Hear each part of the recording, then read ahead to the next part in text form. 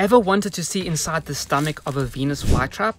Let me show you. Some of you subscribers may know that the trap also acts as the stomach.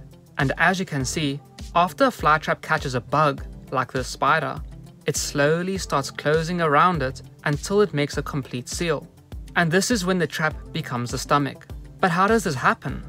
Well, after the seal has formed, the inside of the mouth starts to secrete acids. And one of these acids is the same one that we have in our own stomach hydrochloric acid. Isn't that insane? Anyway, these acids break the bug down and turn it into a nutritious soup. The soup is then absorbed through the walls of the trap to feed the plant. Now you may be wondering, why do they eat bugs?